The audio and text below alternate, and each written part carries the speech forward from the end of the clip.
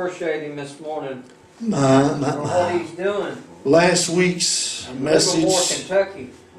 I told you we continue this morning. If I can preach, I tell you what, hallelujah, I don't know. Go ahead, let her rip. Oh, my, my, my, my, my. Yeah. Glory to God, glory to God, glory Holy to is God, the glory to Lord. We God. praise you this morning. Hallelujah, More hallelujah, than we ever had hallelujah. before. Oh, thank you, We want to love Jesus. you Thank more. you, Jesus. I want his train to fill this temple. Amen. Yes. Hallelujah, hallelujah. His Praise mantle, Jesus. his glory, Yes. his power, Yes. his spirit. Like Oh, him. his presence. On, Hallelujah. Billy. Glory to God, Come on, glory to God, glory to God. Hallelujah. Oh, we need to lift him up, church. Hallelujah. Him up. My, my, my. Nobody else, no other on. thing worthy of being lifted up and praised on, and worshiped this morning. Hallelujah. We My, my, my. We don't come together and gather together to exalt ourselves, to exalt man. On, If that's our motive, if that's our goal, Come we'd be better off if we stayed to house in the bed. Amen. Exactly. Hallelujah, it. hallelujah. But we come together in one mind and one accord to lift up the name that is above every name. Jesus Christ. Amen. Yes. The first, the last, the Alpha, the Omega, the beginning and the end. The great I am. Jehovah God. Hallelujah. The first and the last. He is God. Besides him, there is no Amen. other. Hallelujah. Last week, we started this sermon in the book of Revelation, the first chapter. Yeah. How that John, there on the Isle of Patmos, when he heard a voice behind him, turned to look and see where the voice was coming from. Yeah. And the Bible says that he saw that great Bring it eye out. yeah. in the midst of the golden candlesticks. Amen.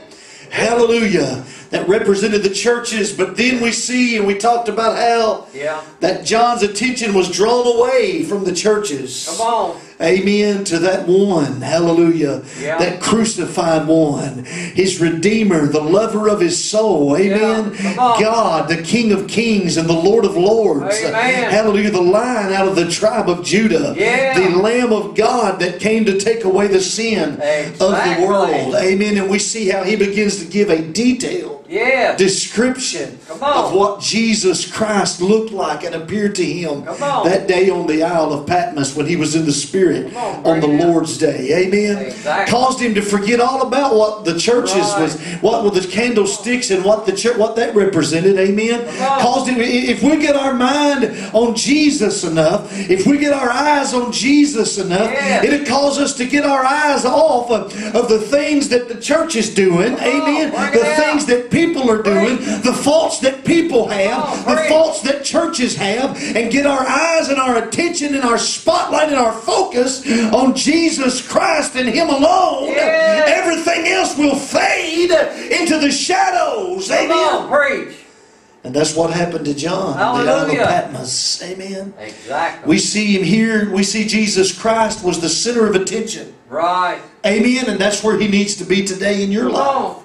On. Preach it. Amen. He doesn't need to be some, I'll, if I have time, I'll get around to him. Amen. Come on, preach. Amen. True. He, Jesus Christ doesn't want to be a part of your life. He wants to be your life. Amen. Right. He doesn't want to just be in your circle. He wants your life to to to to he wants your life to rotate around him. Amen. Exactly. He wants to be the center of your existence. Absolutely. He doesn't want to be some a relationship with him to be something where you can, you know, maybe if you've got time on Sunday morning, you might spend some time in his presence. No, he wants a day-to-day walk with you. Amen. Come on. Preach, He wants Billy. fellowship daily. Preach it. He doesn't want to be just a part of your life or if you can get around to him. Exactly. Amen. Giving him some of your time. True. And we talked about how that it was never intended for the church to be the center of attention. Come on. It was never intended for man to be the center of attention. Exactly. It was never intended for self to be the center of attention, but apparently that's what the church thinks today because that is where the spotlight is at. It's on self. Exactly. Amen. This past week I heard an interview. It was an old interview, I think, not too old. But they were interviewing a couple of big name mega preachers that had got together, and the one was going to let this other big preacher preach at his church, and it was a, it was an unusual thing because most mega church pastors never let any one of the other mega church pastors come into their fold and to preach. And they was making this big deal and this big thing about it. And they interviewed both these men, and they talked, and they went on, and they laughed and everything. And I'm not sure, and you can correct me if I'm wrong. You know our email address. You can call me if I'm wrong. But I don't think I ever heard any either one of them mention Jesus. Mm. I don't think I ever remember, I don't remember the whole interview. Mm. I don't remember them mentioning the name of Jesus. It was all about, well, I love him and I love him and what he's doing and what we're doing and we can do this together and we can have all this. They might have said God, Yeah. but not one time did I hear them mention the name of Jesus. My Lord. Listen, I'm pretty sure that I am incapable of being on worldwide television in an interview and they're talking to me about my ministry. I'm pretty sure I'm incapable of not mentioning Jesus. Amen. Amen. Exactly. I'm pretty sure that Jesus is going to come up in the conversation. Amen. on. Hallelujah. If you stay around me very long, you don't have to be ABC, NBC, or CBS. Jesus is going to come up in the conversation True. because he's not just part of my life. Come on. In him I live and have my being. My breath comes from him. Amen. Come on, preach to us this morning. The center of attention must be Jesus Christ. Exactly. Amen. True. We even talked about how that the Holy Spirit is not supposed to be the center of attention. Exactly. Yet much of the charismatic or Pentecostal movement makes, makes it that way. But Jesus himself said that the Holy Spirit would come and he would testify of him. He would testify of Jesus. The Holy Spirit always lifts up Jesus. Come on. Always points you toward Jesus. Exactly. The center of attention was never supposed, supposed to be the gifts of the Spirit. Come on, preach. Yet we have entire movements that go over into fanaticism because they get caught up in prophecies and word of knowledge and word of wisdom and all of these things. Come on, tell it. But the Holy Spirit and the gifts of the Spirit were never supposed to be the center of attention. Exactly. Yet churches by the thousands have done exactly that. Come on. It's all about prophecy, it's all about healing, it's all about manifestations, True. it's all about the preacher. We've got a whole group of people, it's all about the angels. Come on. Amen. True.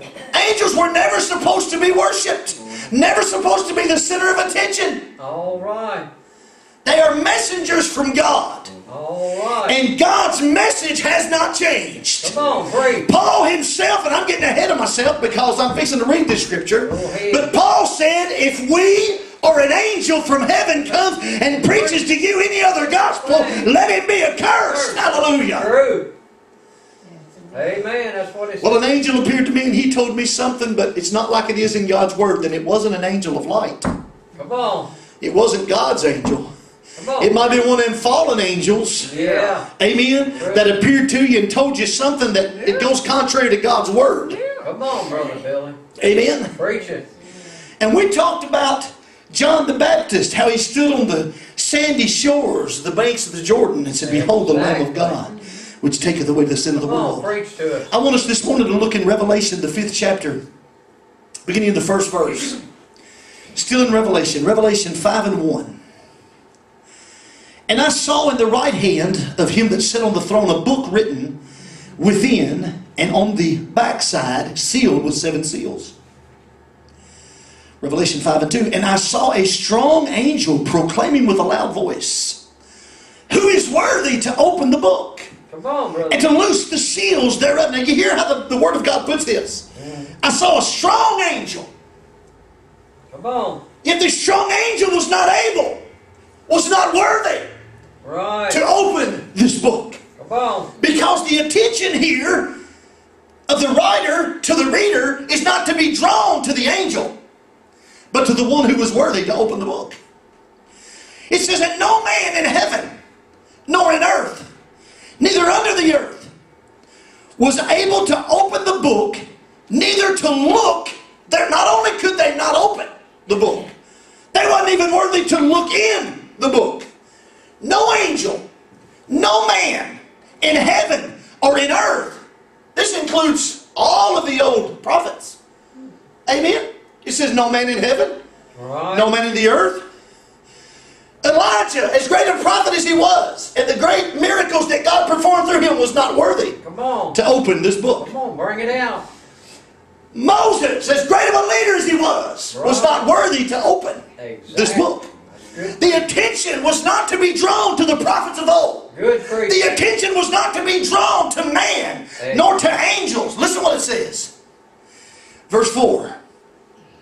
And I wept much, because no man was found worthy to open and to read the book, neither to look therein.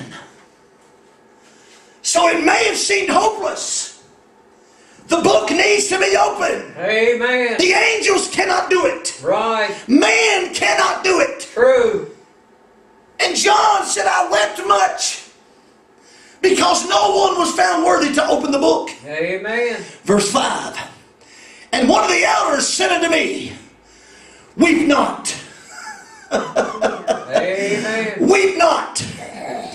Behold, the lion of the tribe of Judah, the root of David, hath prevailed to open the book and to loose the seven seals thereof. Now listen. On. Verse 6 And I beheld, and lo, in the midst of the throne and of the four beasts, and in the midst of the elders, stood a lamb. Oh, glory to God. Stood a lamb. The old apostle, the old disciple, the revelator, weeping because no one was worthy.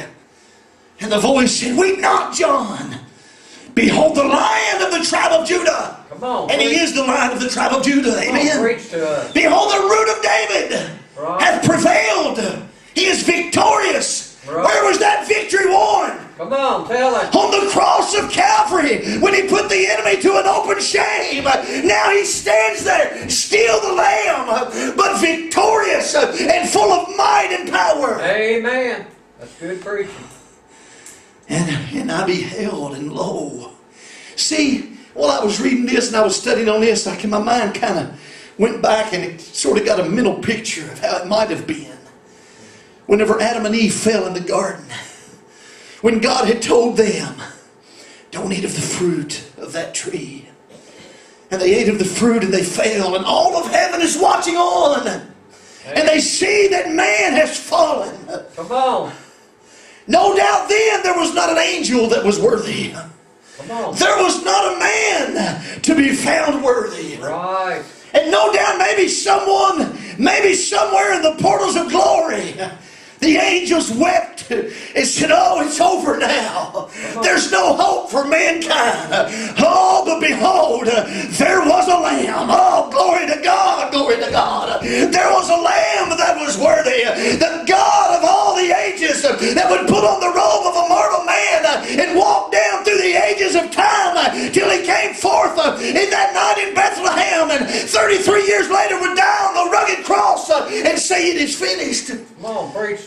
Behold, behold, in the midst of the throne, Amen. in the midst of the beast and of the elders, stood a lamb Yes. as it had been slain. Come on, preach. Amen. True. Having seven horns and seven eyes, Exactly. representing complete and total power, complete and total knowledge. Amen. the seven spirits of God sent forth into all the earth. And verse 7 says, And he came and, look, and took the book Yeah.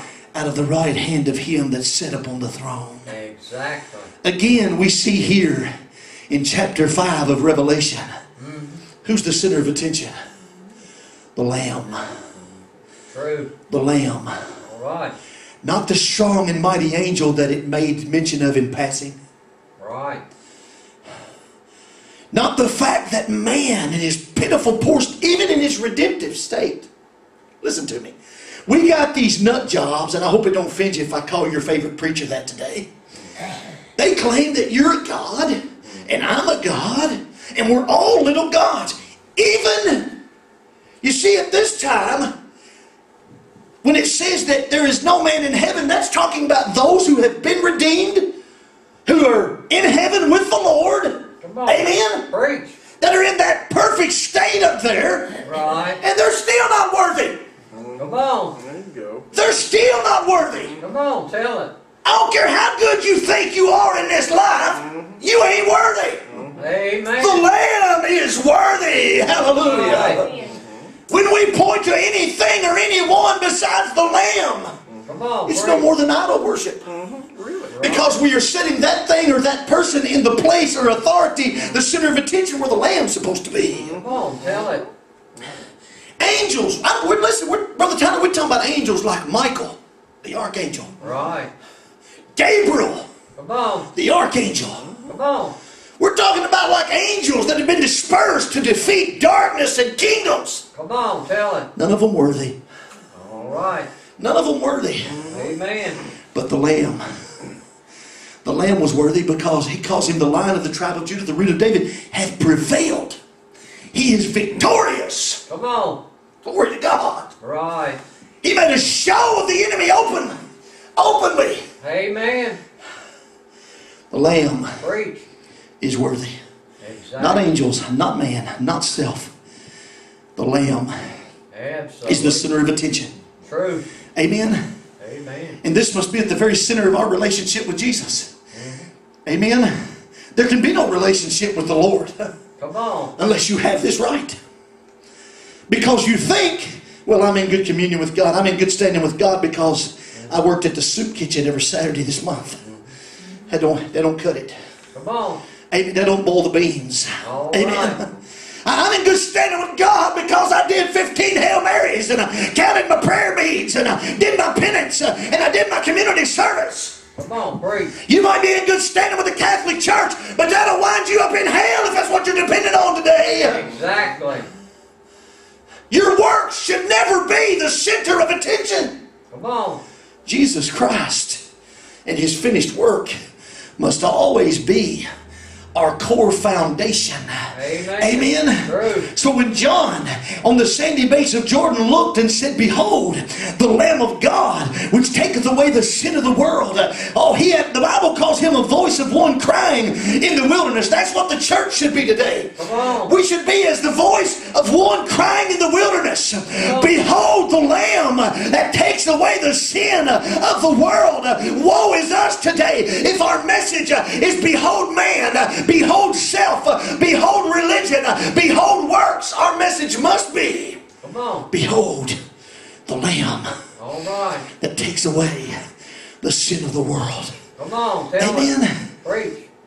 Listen to me. Hallelujah. John the Baptist was saying, Don't look at me, look to him. John the Baptist was a great man, but he was not worthy of the spotlight. Amen. Luke 3 and 15. Listen to this. So speaking of John the Baptist, and as the people were ex- in expectation, and all men mused in their hearts of John, that means that they they were really looking at him as boy, he's really something. John the Baptist, oh, he's really great. He's really something, Brother Dave. Yeah. Amen. He says they mused in their hearts of John. Mm-hmm. And their question was this whether he were the Christ or not. Come on. That's how much they thought of him. Yeah. Brother Sleece. Bring it out. They thought, is he the Messiah? Mm-hmm. Oh, I feel I feel the spirit around him. Yeah, preach. Amen. Is he the Messiah? Mm-hmm. Is he the one? Mm-hmm. But John makes it plain. Luke 3 and 16. John answered, saying unto them all, I indeed baptize you with water, but one mightier than I cometh. Glory to God, glory to God. Don't get your eyes on the pastor because one mightier than he is worthy of the spotlight today. One mightier than the angels is worthy of the spotlight today. Come on. Tell it. Listen what he said. I indeed baptize you with water, but one mightier than I cometh, the latchet of whose shoes I am not worthy to unloose. Come on. Preach. As great as John the Baptist was, Yeah. John said, Listen, folks. Oh, we got some high and mighty preachers that can take a lesson from this today. Amen. Tell. Hey, don't look at me.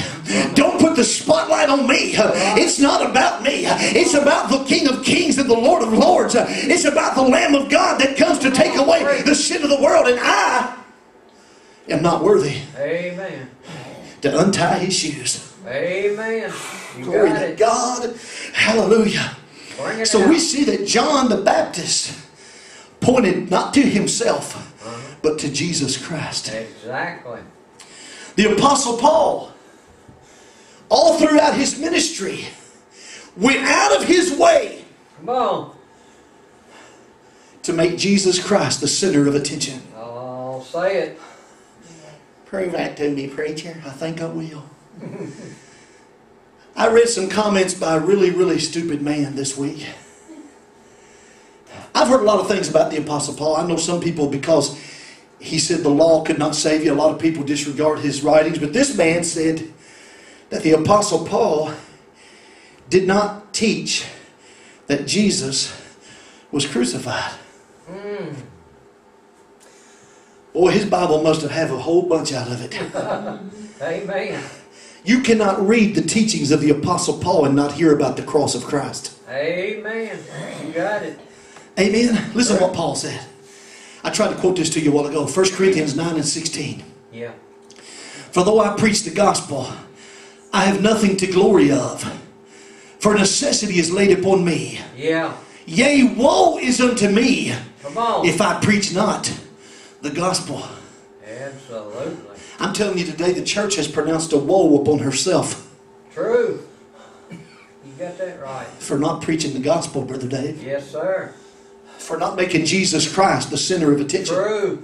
They have set him outside of their doings and their going ons and their activities, Amen. Preach. their philosophy, because the cross of Christ doesn't fit into that. Preach. Their man made doctrines because the cross of Christ doesn't fit into that. Exactly. Heard someone say once, well, yes, I got saved there at the cross, but I've moved on from the cross. Yeah. Well, I got one warning for you. If you've moved on from the cross, you better turn around and get back. Amen. All right. You better come back uh, to the cross uh, because not only is our salvation found there, but our justification uh, and our sanctification can only be made possible through faith in the finished work True. of the cross.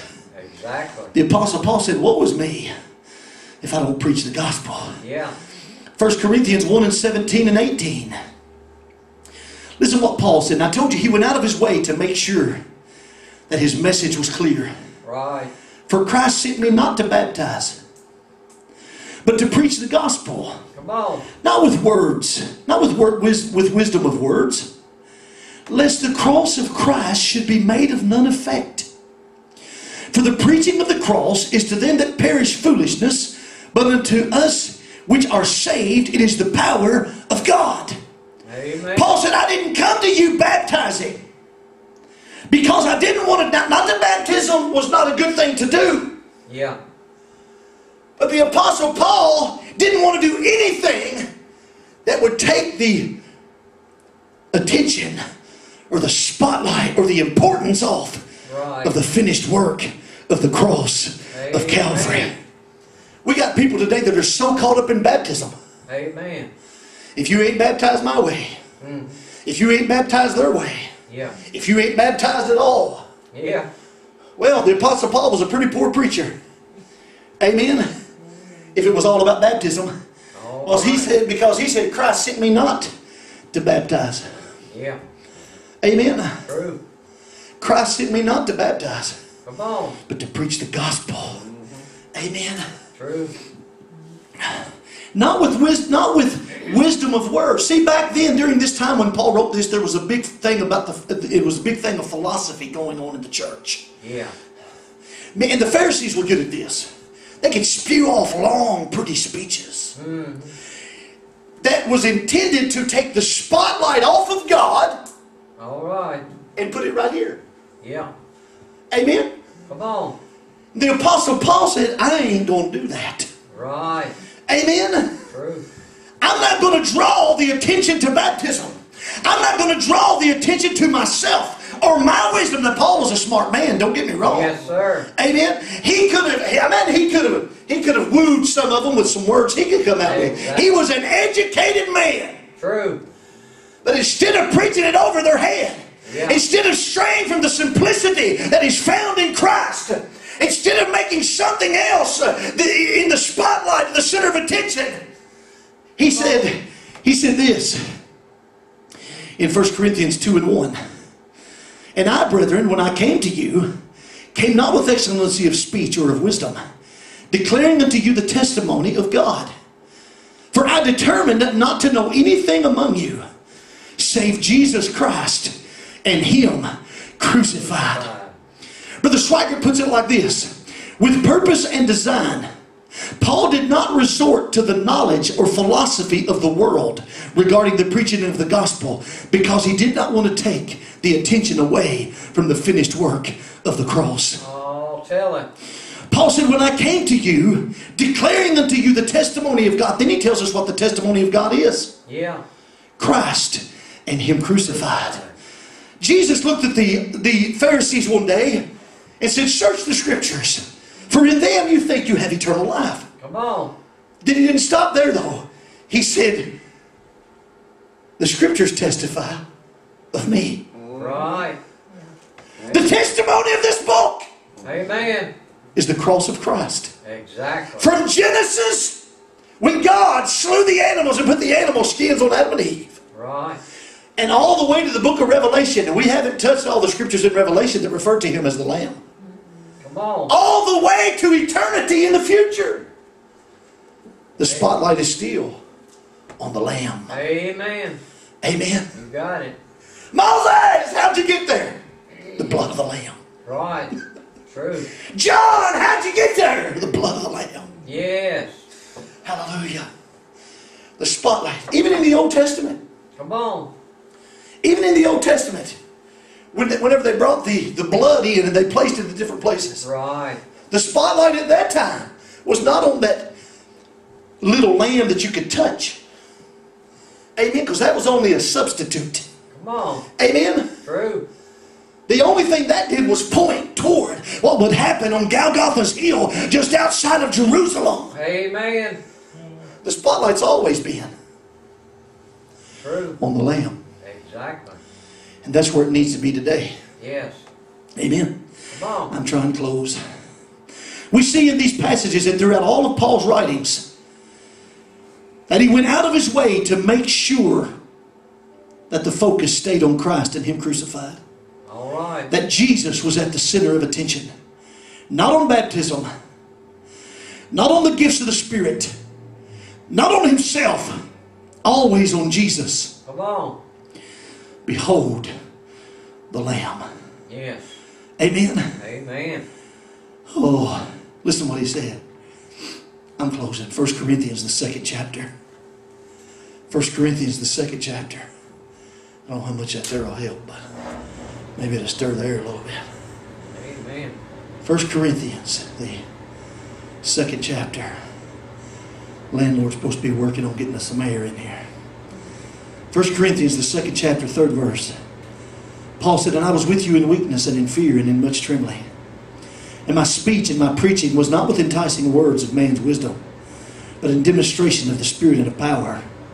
That your faith should not stand in the wisdom of men, but in the power of God